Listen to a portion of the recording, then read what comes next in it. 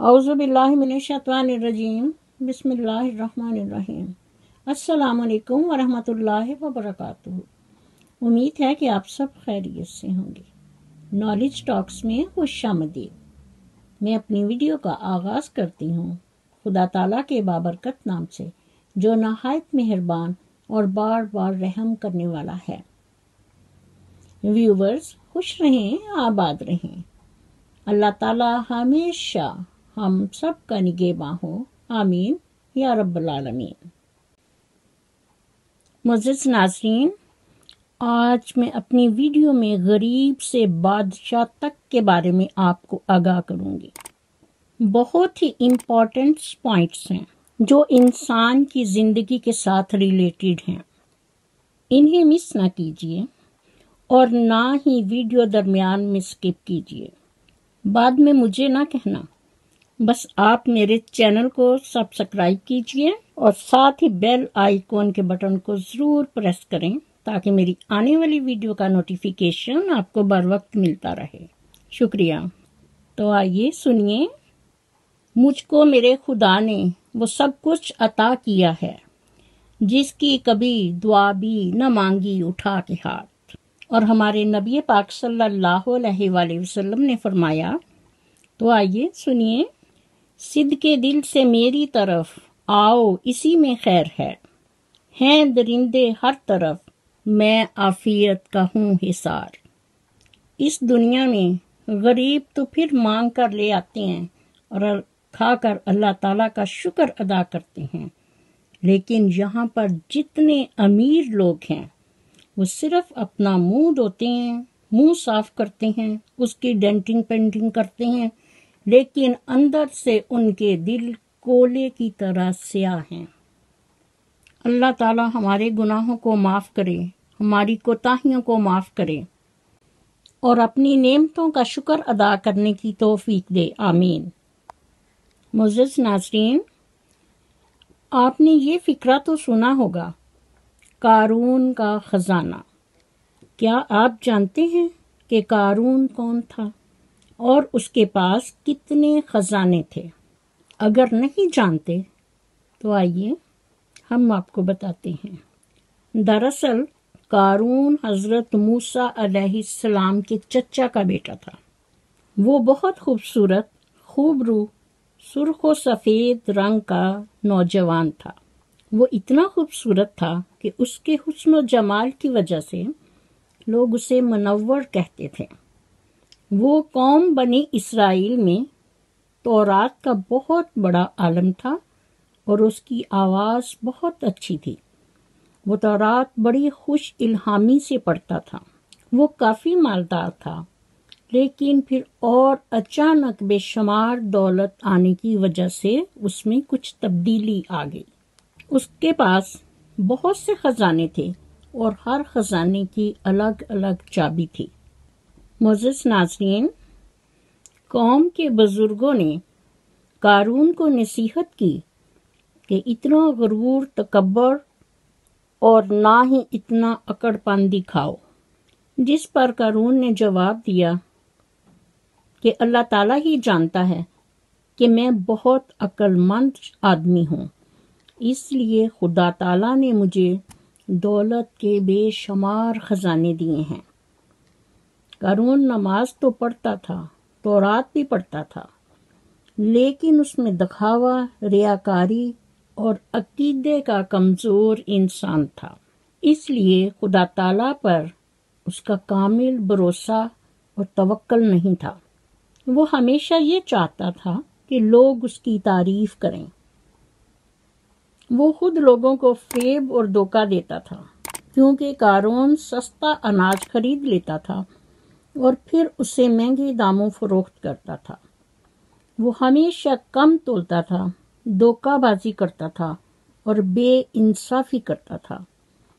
सूद खाता था और लोगों पर जुल्म भी करता था। इस तरह के नाजायज तरीकों से उसने काफ़ी दौलत इकट्ठी कर ली थी। जूं जूं उसकी दौलत बढ़ती जाती थी, उसका लालच भी बढ़ता जाता था। और उसे रिश्तों से ज़्यादा दौलत अज़ीज़ थी। इसलिए कहा जाता है कि कारून एक दौलत परस्त और दौलत का पुजारी इंसान था। वो अपने ऐशो इशरत पर खूब खर्च करता। उसने एक बहुत बड़ा और बहुत ही खूबसूरत महल तमीर करवाया, जहाँ तक महल की दीवारों पर उसने हीरे जवाहरात नस्ब करवाए। वो अपने घोड़ों, ऊंटों को भी जेवरात पहनाया करता था। कारून के पास सैकड़ों गुलाम और कनीजें काम करती थीं, लेकिन वो उनके साथ बहुत बुरा सलूक करता था। वो उन्हें मजबूर करता कि वो उसे सजदा करते हुए उसके पाँव को बोसा दें। मजिज नाजरीन, दौलत की वजह से उसमें इतना गरूर और तकबर आ गया था कि बाज औकात ओलामा जब कानून को नसीहत करते कि तुम इस तरह की हरकत क्यों करते हो और क्यों ऐसा करते हो कि लोगों पर जुल्म करते हो, तुम खुदा ताला को क्या जवाब दोगे?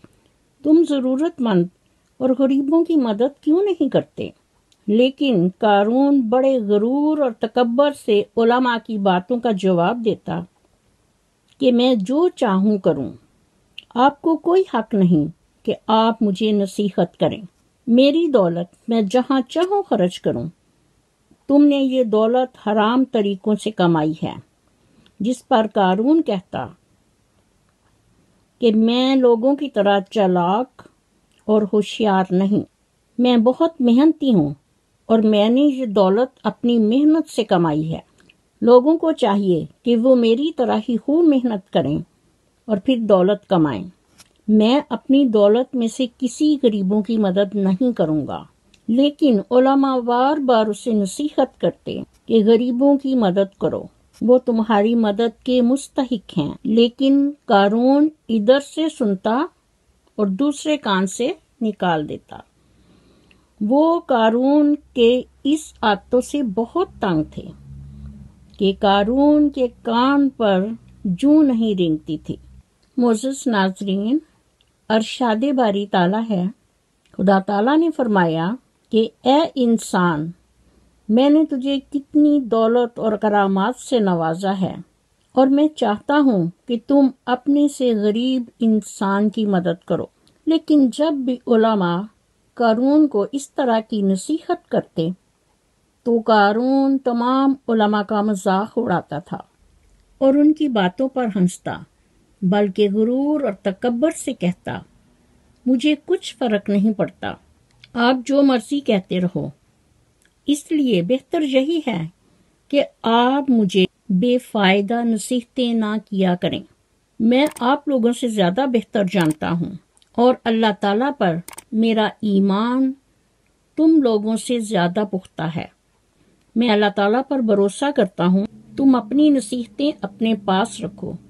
जाओ, अपना काम करो। तुम मेरी फ़िक्र ना करो। मुजस नाजरीन, कारून एक दिन नहायत कीमती और जर्क बर्क लिबास पहनकर अपने गुलामों को साथ लेकर बाहर निकला और उसे जो कोई भी देखता तो उसके मुँह में पानी आ जाता और वो कहता कि, काश मेरे पास भी इतना माल होता। ये तो बड़ा खुश नसीब है। और बड़ी ही किस्मत वाला है कि इसके पास मालो दौलत के कितने खजाने मौजूद हैं। एक दिन हज़रत मूसा अलैहिस्सलाम बनी इसराइल में खुतबा पढ़ रहे थे कि कारून वहाँ अपने जर्क बर्क लिबास में आया। ये तमाम हाजरीन की नज़रें उस पर जम गईं। हज़रत मूसा अलैहिस्सलाम को उसका ये अंदाज पसंद ना आया। उन्होंने कारून से पूछा कि तुम इस तरह की हरकत क्यों करते हो? जिस पर कारून ने हज़रत मूसा अलैहिस्सलाम से कहा कि एक फजीलत खुदा ताला ने आपको दी है और एक फजीलत खुदा ताला ने मुझे दी है।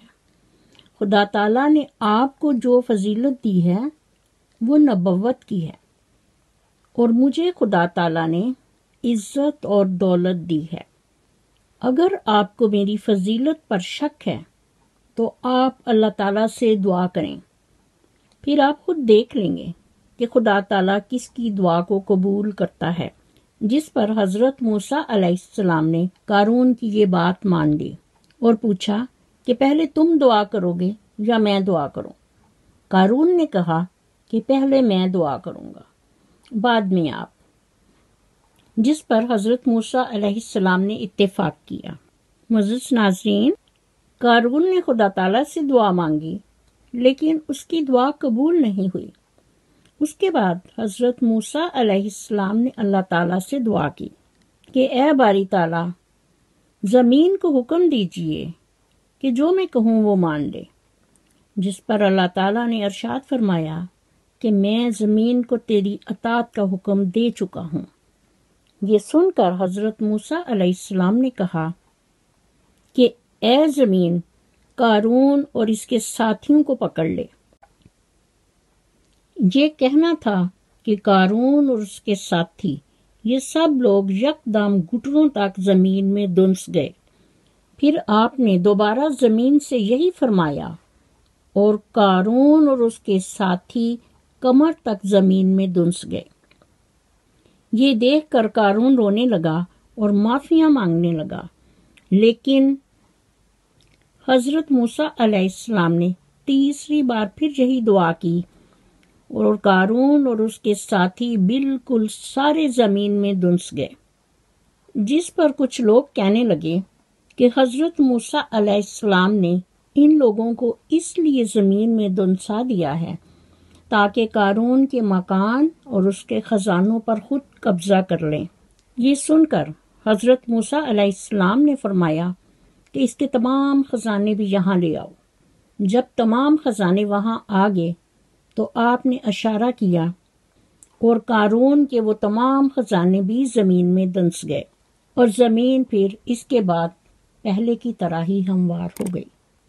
मोजस नाजरीन, ज़रा गौर फरमाएँ, अगर आप इस वक्त आजकल के दौर में देखें और मुआशरे पर नज़र दौड़ाएँ तो आपको पता चलेगा कि हमारे इर्द गिर्द बेपनाह कारून मौजूद हैं।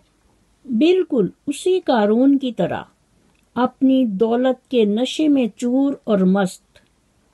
उनके गुरूर और तकबर का ये हाल है कि उनकी गर्दनें नीचे नहीं झुकती।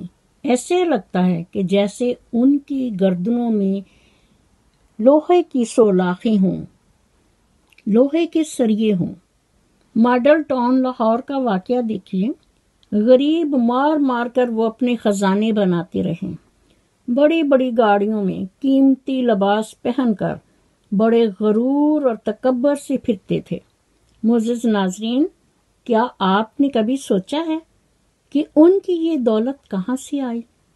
बिल्कुल उसी कानून की तरह, इन्होंने भी अपने गरीब आवाम का खून चूसा है।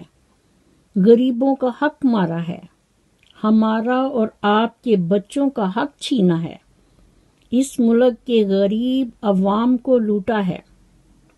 हमसे हमारा पैसा छीन कर हम पर हुक्मरानी करते रहे, लोगों पर जुल्म करते हैं। उन्हें इंसानियत का या अपने मुल्क का कोई एहसास नहीं। वो अपनी दौलत के नशे में मस्त हैं।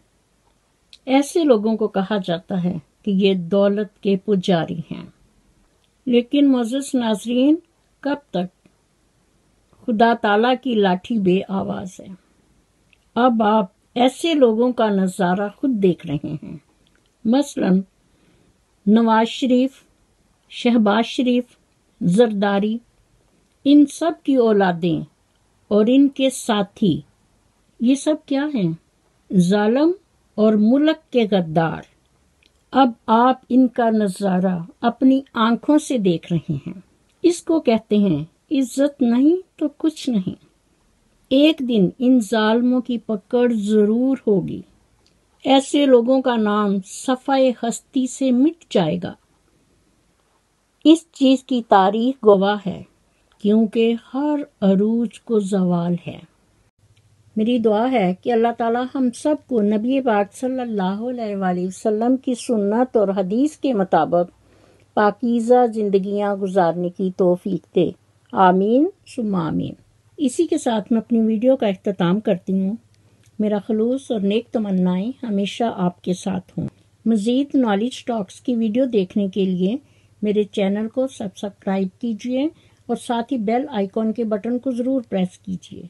ताकि मेरी आने वाली वीडियो का नोटिफिकेशन आपको बर वक्त मिल सके। और कमेंट बॉक्स में अपना फीडबैक ज़रूर दीजिए। शुक्रिया। मुझे भी अपनी दवाओं में याद रखें। अल्लाह हाफिज़। पाकिस्तान, जिंदाबाद।